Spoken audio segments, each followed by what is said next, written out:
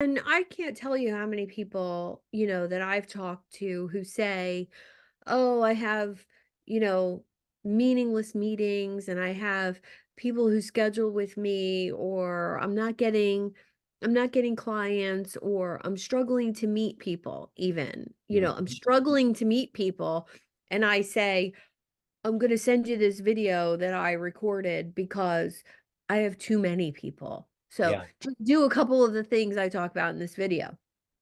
But I will say, if there's something like that, then it it's about you asking this very simple question that changed my life.